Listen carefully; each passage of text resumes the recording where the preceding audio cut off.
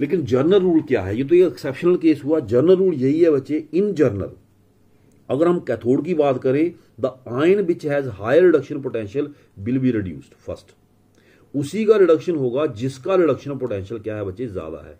For example sodium positive ion calcium positive ion potassium positive magnesium aluminium cannot be reduced in aqueous solution of their reduction cannot be reduced in aqueous solution क्यों? क्योंकि इनके reduction potential much less than water है।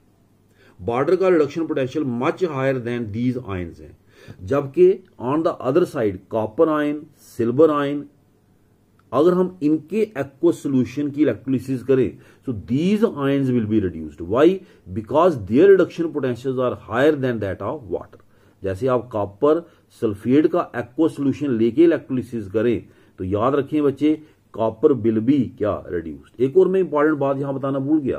कि ये जो हम electrolysis की product predict कर रहे हैं we are using inert electrodes इसमें इलेक्ट्रोड्स का कोई लेना देना नहीं है बच्चे. We are using inert electrodes हम किसकी हेल्प ले रहे हैं बच्चे? इनर्ट इलेक्ट्रोड्स की. ठीक है? दूसरे साइड पे in general the ion which has lower reduction potential और higher oxidation potential will be oxidise at anode अगर हम एनोड की बात करें तो कहता उस आयन की ऑक्सीडेशन होगी जिसका ऑक्सीडेशन पोटेंशियल ज़्यादा है एनोड पे। ठीक है? फॉर एग्ज़ाम्पल देखें, क्लोरीन नेगेटिव को छोड़ दें that is exceptional case for example देखें ब्रोमीन नेगेटिव का oxidation potential minus one point zero eight volt है ब्रोमीन नेगेटिव का। आयोडीन नेगेटिव का minus zero point seven seven volt है है ना? तो ये दोनों पोटेंशियल क्या है बच्चे?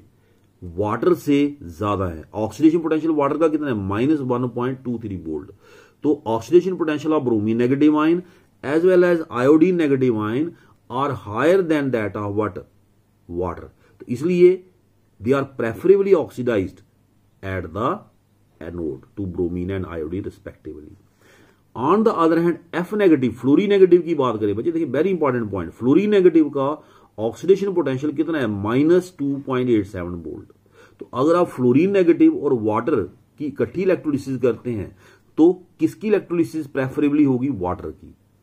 Fluorine negative can not be oxidise in aqueous solution because oxidation potential of fluorine negative is much less than that of water तो वाटर ऑक्सीडाइज होगा ना कि कौन बच्चे? फ्लोरीन नेगेटिव एक और इंपॉर्टेंट बात यहाँ पे जो मैं आपको बताना चाहता था we are using inert electrode ये अपने दिमाग में रखें। अगर आपकी इलेक्ट्रोड्स इनर्ट नहीं है when electrodes are attackable then generally the metal involve will get dissolve at anode and get deposited at cathode उस केस में इलेक्ट्रोड पोटेंशियल वैल्यूज़ वाला कंसेप्ट नहीं लगेगा, याद रखें बच्चे। For example when aqueous solution of copper sulphate is electrolysed using copper electrodes then following reaction आकर copper sulphate की इलेक्ट्रोलिसिस करेंगे using copper not an inert electrode तो फिर इलेक्ट्रोड पोटेंशियल वैल्यूज़ की जो कंसेप्ट है, वो यहाँ यूज़ नहीं होगी बच्चे। कॉपर ही कैथोड पे रिएक्शन करेगा copper he anode at cathode copper 2 positive ion from aqueous solution, go to the cathode, gain electron from there and form copper and anode copper he electron lose करेगा। Copper anode जो खुद है, वो electron lose करेगी।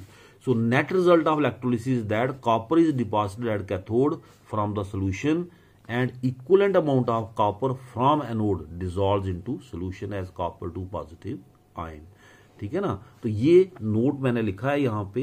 ये याद रखें बच्चे। क्या याद रखना इसमें आपने?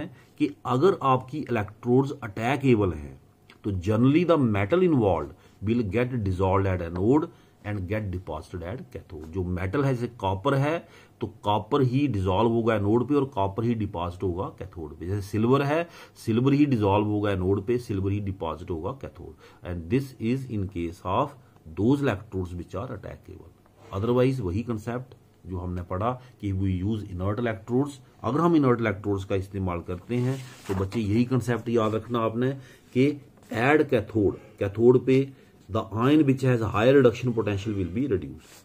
And at anode the ion with higher oxidation potential will be oxidized. Thank you.